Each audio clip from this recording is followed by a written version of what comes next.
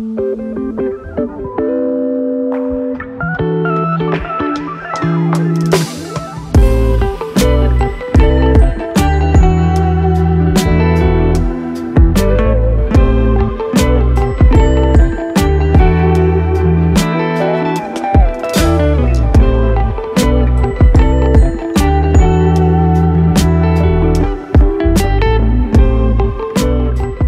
Salve rapaziada, beleza? Aqui é o Jota para mais um vídeo do canal e olha o que temos aqui, o primeiro vídeo de build do NBA 2K22. Esse é um vídeo especial porque é o primeiro e eu vou explicar como é que vai funcionar todos os outros que virão, vou estar sempre colocando aí na tela pelo menos o aviso, tá? Vou fazer a build do Stephen Curry aqui, como vocês já sabem, nas duas gerações no PS4 e no PS5. No momento, estamos no PS4, vou mostrar como fazer o Stephen Curry no PS4 e depois, no mesmo vídeo, vou mostrar como fazer no PS5. Lembrando, a versão do PS4 é a mesma do Xbox e a versão do PC, chamamos de velha geração.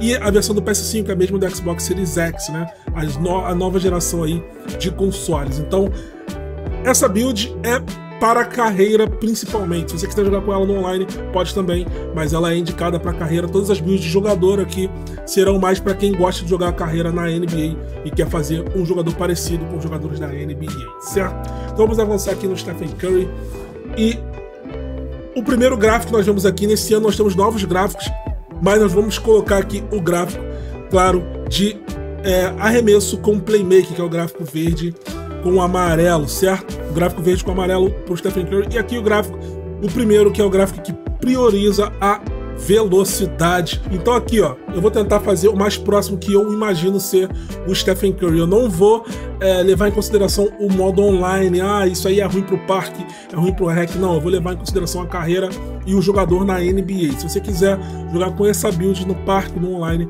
você pode também. Então, eu vou aqui adicionar é, 75 de close shot pro Stephen Curry para ele não errar o ele não errar muito o close shot. Eu vou, eu vou colocar 70 aqui, só para eu ir colocando depois e ajustando. 3 pontos e arremesso de mid-range eu vou colocar o máximo e lance livre também, certo? A gente pode até diminuir aqui um pouquinho, ó. Vou pegar 20 aqui de arremesso no mid-range, porque o Stephen Curry ele não é tanto de arremessar no mid-range assim, né?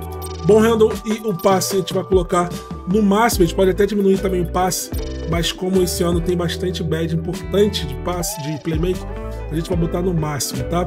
E a defesa também, eu vou colocar aqui só o suficiente para você usar algumas é, badges de defesa no seu jogo. Então, eu vou adicionar aqui mais finalização para o Stephen Curry, tá? É claro que eu não precisaria colocar o post hook para ele, mas para ele atingir aqui 7 badges de finishing, 4 badges de finishing na verdade, é importante para pelo menos você conseguir finalizar aí na sua carreira não passar tanto, tanto prejuízo, né? Vou botar aqui mais badges de arremesso, ó. Eu vou colocar aqui no mid-range mesmo, fica com 90, certo? Então tá lá, 4 de finishing, 21 de chute, 21 de playmaking, 6 de defesa para esse Stephen Curry aqui, certo? Vamos avançar. Aqui, questão de gosto, vou botar aqui o definido para o Stephen Curry, 6-3 para ele. E o peso, eu vou colocar aqui uh, o mínimo, tá? Porque aqui, como não vai fazer muita diferença no jogo, eu vou colocar o, é, o que ele tenha mais velocidade, certo? Então, vou colocar aqui um 7-3. E o braço, eu não, eu não indico quase nunca colocar no mínimo o braço, porque isso impacta diretamente na sua defesa, né, no seu jogo. Então, uh, eu vou colocar aqui, ó, para ele não perder muito de steel, 78.6. Ele pega 64 de driving dunk, 88 de 3 pontos, 87 de bom rendo. Lembrando, né? Você ganha mais 4 quando você passar de 95. Então ele vai chegar ainda ali no 92 de 3 pontos, 67 de driving dunk. Então ele vai poder fazer jogadas dentro do garrafão é, sem sofrer tanto assim, certo? Vamos avançar. E aqui pro Stephen Curry, é claro, você pode tentar o playmaker, mas pro Stephen Curry tem que ser o spot up, o takeover, certo? Então tá lá Playmaker Shot Creator, Stephen Curry e Damian Lillard também ali a comparação. Vamos então. Bom, vou mostrar rapidinho quais são as bets que eu indico aqui pro Stephen Curry. É claro, né? Você pode tentar o que você achar que vai funcionar melhor para o seu jogador. Vou colocar a Slither Finisher prata aqui, bronze na verdade, porque ele não precisa muito mais do que isso. Uh, deixa eu botar Acrobate também prata, talvez. Eu acho que eu vou botar Giant Slayer no prata aqui, ó. Vou tirar Acrobate E vou colocar. Teardropper também ele usa bastante, né? Tá? Também seria uma boa para ele, é o Pro Touch, tá? E aí vai de acordo com o seu estilo de jogo. E arremesso aqui é muito importante. Vou deixar aqui Blinders é, no, no Hall da Fama, chefe que é dele, né, cara? Que é para você chutar é, saindo do drible para três pontos. Vou deixar prata, não vou nem insistir muito. Hot Zone Hunter tem que ter um botar ouro. Sniper é uma das melhores badges do jogo, Hall da Fama. Mismatch Expert, Hall da Fama também para você conseguir arremessar é, contra marcadores mais altos que você, certo? Dierai, prata só para dar aquela aquela ajudada, né?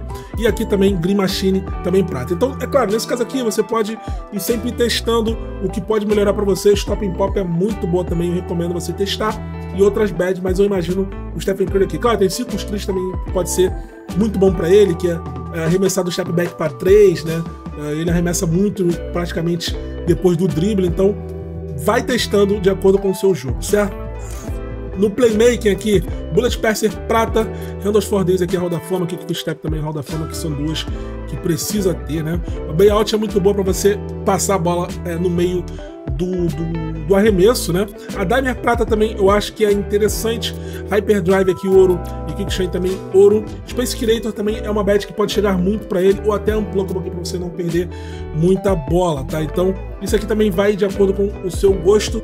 E tem muita coisa aqui que chega próximo do, do Stephen Curry, mas a gente não tem tanta bad assim para usar. E na defesa, como a gente botou 6 justamente para você não sofrer muito, eu colocaria aqui Clanks Prata Off-Ball Pass, pelo menos bronze para você conseguir seguir o seu defensor na defesa.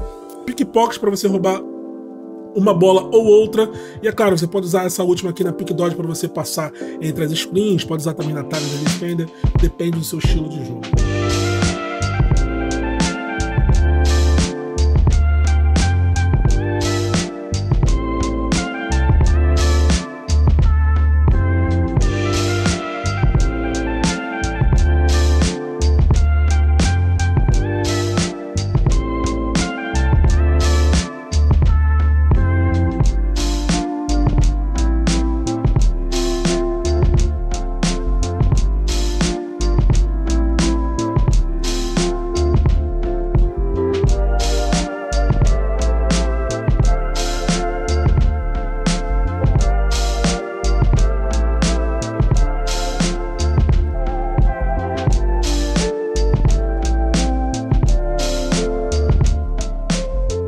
Isso aí, rapaziada. Caímos aqui no PS5, lembrando, essa é a nova geração, então tem um pouco de mudança na criação das builds. Vamos avançar por Stephen Curry aqui na nova geração. Aqui nós temos um pouco mais de liberdade na criação, temos mais atributos e mais badges também. Vou colocar ele também com 6.3, tá? Aqui o peso você pode até variar um pouco mais se você quiser, mas aqui também vai de gosto. Aqui eu também não indico quase nunca botar o braço no mínimo, né, cara? Porque isso atrapalha bastante, inclusive até um pouco da sua defesa. Então, vou colocar aqui Uh, ah, 6.5 tá bom, e aqui também um pouco definido, tá? Já tá bom para mim, 6.3. Então, vamos lá na criação aqui agora da build. Aqui na nova geração nós temos um pouco mais de liberdade, né? Nós vamos aumentar um, mais o drive layup dele. É, claro, a gente não precisa botar é, 99. Eu não vou nem aumentar muito isso aqui, justamente para não ter. É, para não faltar é, na, nos outros atributos, eu vou botar 75, mas depois eu vou um pouco modificando isso aqui. Vamos aumentar os três pontos dele e aumentar também o mid-range. O, o, lance livre, para quem vai jogar o, a carreira, é importante. E se você for jogar parque, não é muito, então você pode tirar o lance livre se você quiser na hora da criação do seu, do seu jogador. Aqui, vamos botar o ball handle e vamos direto aqui para a aceleração dele. Vamos botar o maior que puder e também aqui a estamina. vertical a gente pode botar 70 para ele conseguir fazer jogadas pelo menos ali dentro do garrafão. Aqui o show a gente vai para 91 e a gente pod poderia aumentar um pouco o bloco aqui, nesse caso, para o Stephen Curry, justamente para ele ter um pouco mais de badge é, de, de, de, defesa. Né? O passe também a gente pode aumentar, então a gente vai ter que aqui mexer então tá lá, rapaziada. Isso aqui é mais ou menos o que eu imagino do Stephen Curry, tá? O finish dele com 15 badges de finish, 80 de drive layup, que é o mais importante aqui pro Stephen Curry, tá? 70 de drive dunk, até para você conseguir dar uma dunk ou outra, mas não é uma coisa, é uma coisa situação que ele vai fazer, então ele não precisa ser excelente nisso. Mid-range 85, porque ele não é um jogador de ir tanto para um arremesso de, de média distância. 93 o máximo aqui de 3 pontos.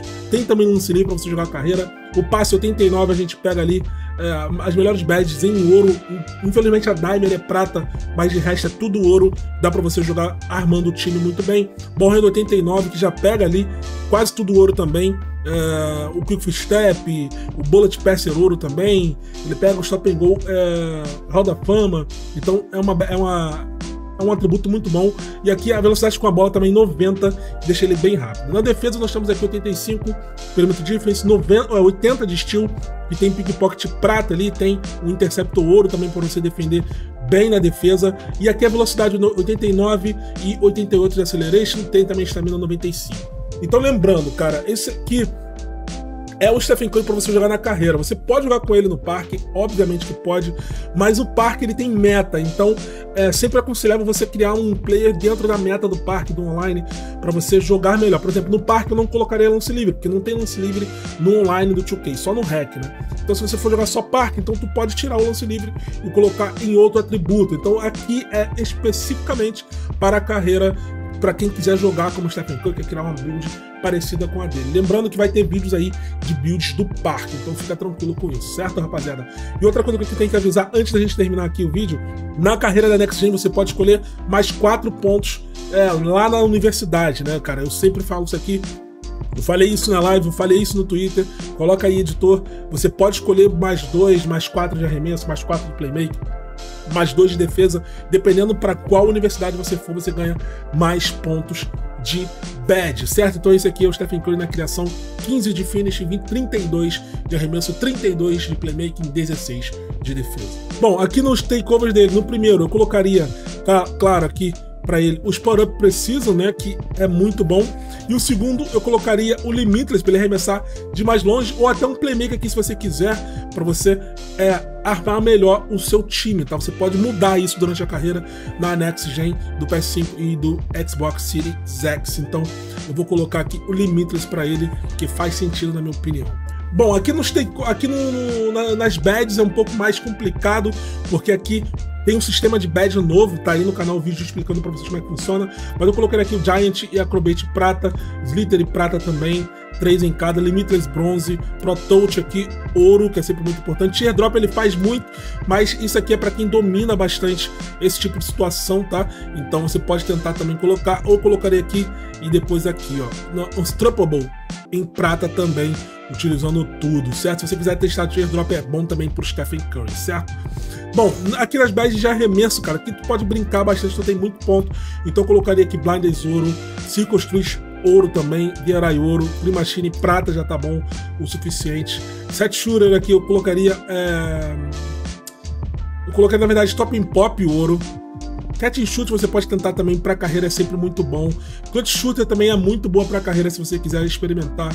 Difficult Shot tá funcionando nesse, nesse 2K, só que eu não usaria tanto assim, tão alta. Hot Zone tem que ter, Mismatch tem que ter também, como eu já falei, é sempre muito importante, e a Sniper também.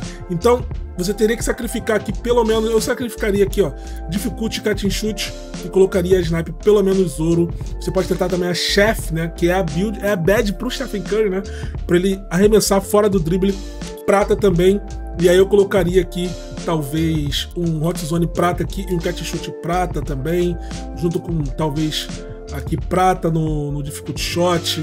Não sei. Isso aí você pode experimentando até você pegar o jeito para o seu jogador. Aqui tu também pode tirar e botar prata.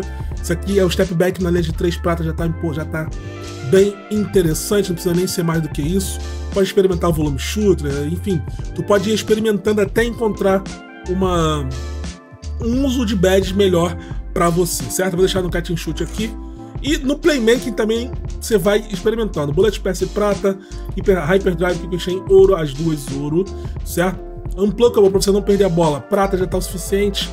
Dimer, prata. Blue Hands é muito boa para você é, pegar a bola é, da melhor forma para poder arremessar. Bailout prata também já vai funcionar o suficiente. Quick, é, quick Step ouro tem que ter, né, que é sempre muito importante. E Handles for Days também ouro.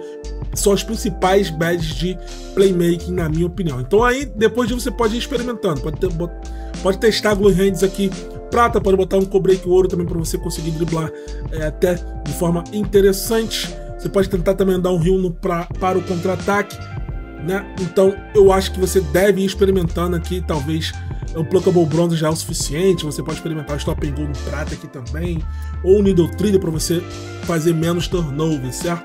Vai experimentando de acordo com o seu jogo. Na defesa, aqui nós temos até mais do que o suficiente, né? Então pode botar Cold no ouro, tá já defendendo o ouro também, Off-Ball Pass no prata aqui, que é importante, Interceptor ouro e Clamps também, né? Então pode tirar aqui, ó, Braces e colocar Clamps no ouro, que é muito bom. Pode tirar Tarles aqui do ouro, colocar um começo no prata, pode tirar aqui e colocar Pique Dodge no prata também, para você conseguir marcar melhor. Enfim, você escolhe e vai testando aí do seu gosto, do seu, do seu estilo de jogo, para você conseguir fazer um Stephen Curry aí interessante, certo, rapaziada? Então é isso aí, espero que vocês tenham gostado. Não esqueçam, cara, esse tipo de vídeo, como eu já falei, é vídeo, é uma build para carreira. Ah, Jota, não funciona no parque, essa build, essa bad, isso, aquilo. Essa, esses vídeos são para carreira na NBA, para quem quiser, quem vai chegar, quem vai pegar o jogo na promoção, conseguir criar o jogador aí, jogar a carreira é, com um jogador parecido com o jogador da NBA, para não errar na hora da criação, certo, rapaziada? Vou ficando por aqui, espero que vocês tenham gostado. Não esqueça que vai ter vídeos ainda de builds para parque, para o online, que aí são builds mais metas, certo, rapaziada? Não esqueçam de seguir lá no Instagram também, links aí no Instagram, no Twitter, TikTok também vai sair dicas no TikTok, builds no TikTok. Só no TikTok e no Instagram vai sair builds de jogadores da NBA para vocês criarem, certo? Então sigam lá os links estão na descrição, siga também na Twitch. Vou ficando por aqui. Fui.